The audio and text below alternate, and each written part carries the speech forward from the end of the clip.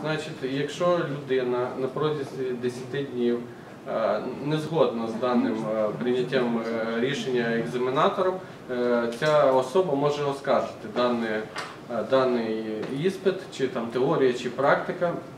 Після чого у нас є створена регіональним сервісним центром комісія по оскарженню даних е, по прийняттю іспитів.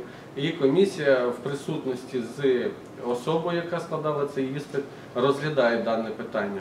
Е, Розглядається дане питання там не менше п'яти осіб у нас е, в комісії і приймається рішення шляхом голосування. Якщо дана особа погоджується з голосуванням, якщо більшість голосує, що анульовується, значить людина в подальшому е, складається то анульовується той іспит, і вона в подальшому перескладає даний іспит, але вже в присутності комісії. Якщо ж приймається рішення, що була помилка з боку, ну скажімо так, екзаменатора, значить тоді ну, приймається рішення, що даний іспит рахується складним.